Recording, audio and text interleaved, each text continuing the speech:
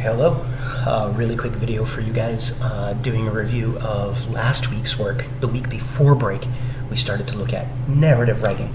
And specifically, we looked at three seventh grade skills that I want you guys to keep in mind and use. Not just keep in mind, I want you to use them. No, I don't want you to. I expect you to use them in your seventh grade writing. Right?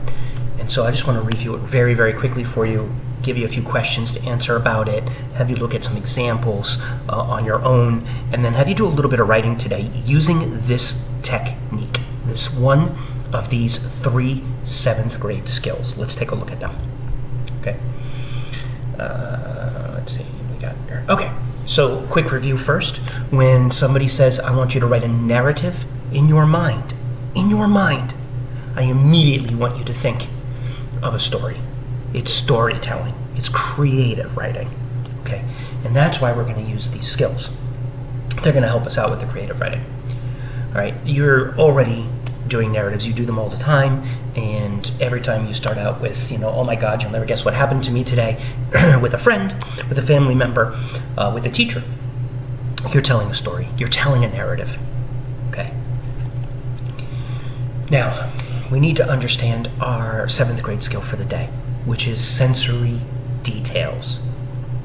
That's when a writer writes a description of a person, place, or thing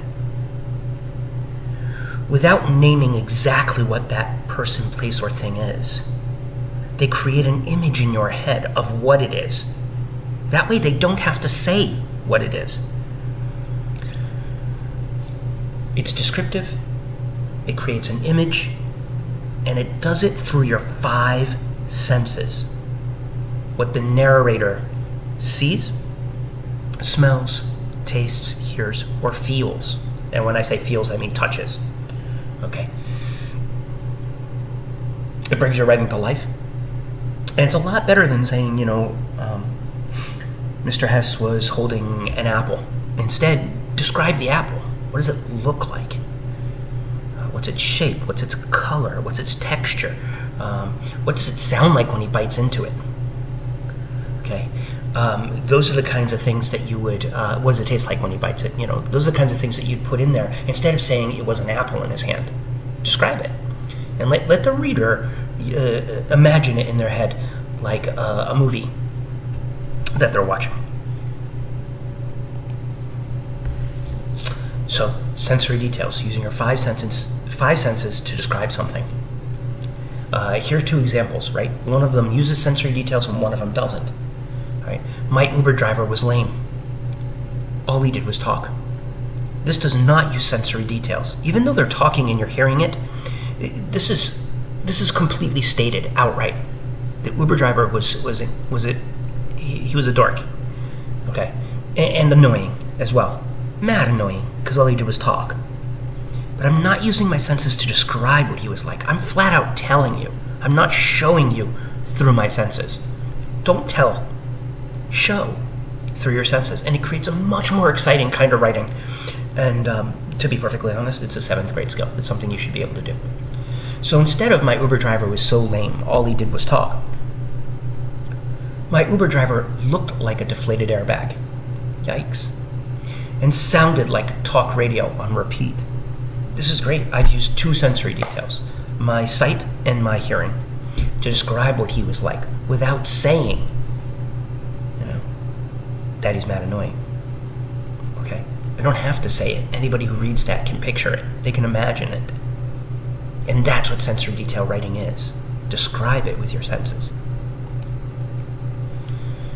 Uh, I love this exercise. Here's a nice paragraph um, that has lots of sensory details in it, but it's not all sensory details. Notice the first sentence. The first sentence has no sensory details in it. The movie theater is an exciting place where people can relax and enjoy the experience.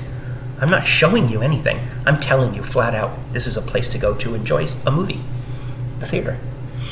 Um, however, in the next sentence, I kick it off immediately with some great sensory details. Look at this the warm scent of popcorn emanates throughout the cinema.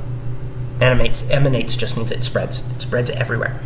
And um, what's the sensory detail? It's that warm sense of smell. The the warm scent of popcorn. Really good. A waft of chocolate. This is all uh, using my sense of smell. But I'm not done. I- I'm going to go on to what it sounds like.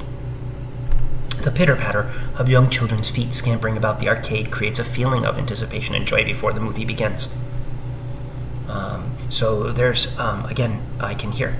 Uh, I can see sleepy grandparents sauntering. Eh, they're not really walking, they're kind of like sauntering through. Uh, as the movie begins, soft cushions. Oh, I can feel. I can feel the cushions. Um, right, and that's it. So I bet you money.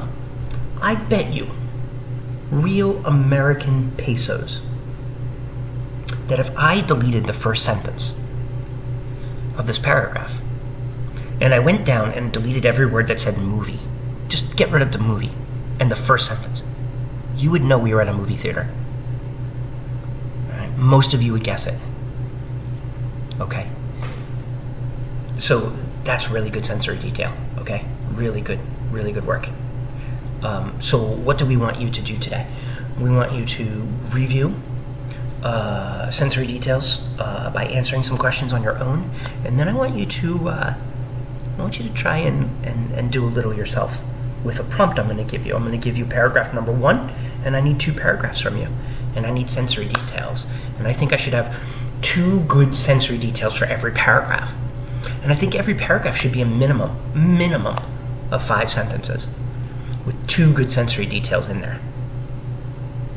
Remember, you're telling a story. Be creative, have fun, enjoy yourself. And lastly, it's short.